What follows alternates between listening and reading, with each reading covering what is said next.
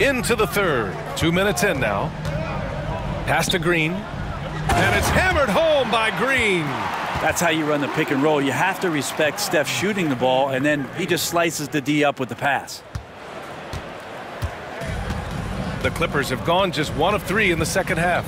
Oh, Brent, it's been a blessing to watch Stephen Curry in real time. But he's the kind of player, his highlights will stand the test of time for years. The best shooter that's ever played the game.